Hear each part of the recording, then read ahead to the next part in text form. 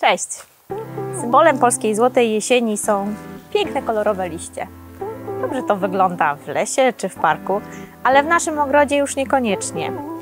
Często liście spadają na powierzchnię wokół domu, na przykład na podjazd, gdzie po jakimś czasie gniją i brudzą naszą kostkę brukową. Warto po prostu przed zimą wszystko posprzątać. W ofercie posiadamy pełną gamę urządzeń, które pozwolą nam na uprzątnięcie całego ogrodu.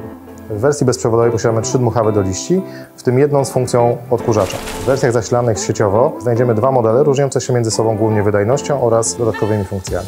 Do szybkiego i efektywnego zbierania opadłych liści i gliwia polecamy zbieracz ręczny E DET 8803. Urządzenie to posiada dużą szerokość roboczą, bo aż 53 cm, obrotowy wałek z ośmioma spiralnie ustawionymi szczotkami wykonanymi z nylonu, które zgarniają i wrzucają liście oraz igliwie do pojemnego 100-litrowego kosza.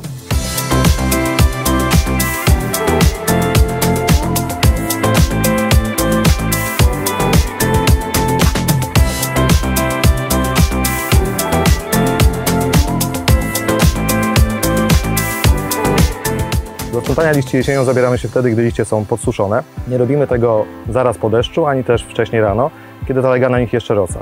Suche liście są lżejsze i łatwiej będzie nam je przetransportować lub umieścić w workach.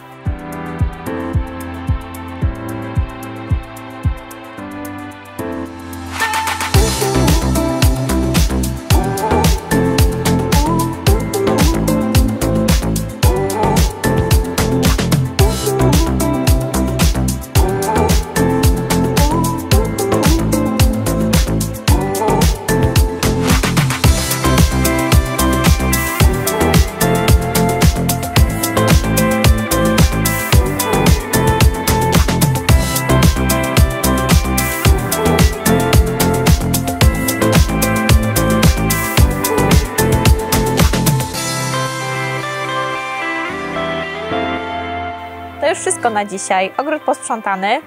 Liście zebrane, wszystko wygląda pięknie, ogród gotowy do zimy.